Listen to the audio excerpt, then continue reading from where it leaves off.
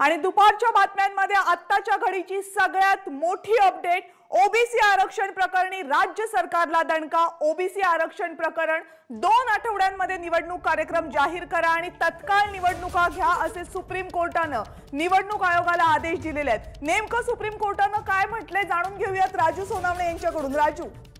कविता पाहतो आपण. ओबीसी आरक्षणाचा मुद्दा गाजत होता. सरकारने सुद्धा अनेक प्रयत्न केलेले आहेत. निवडणुका पुढे ढकलण्यासाठी मात्र आज जी सुनावणी झाली त्या सुनावणीमध्ये थेट जे आहे ते दोन आठवड्यामध्ये निवडणूक कार्यक्रम जाहीर करा.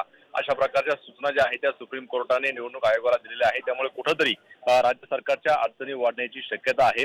आपण पाहिलेलं होतं ओबीसी आरक्षण जोपर्यंत मिळत नाही तोपर्यंत निवडणुका घेऊ नका अशा अनेक नेत्यांचं आणि सगळ्या पक्षांचं म्हणणं होतं.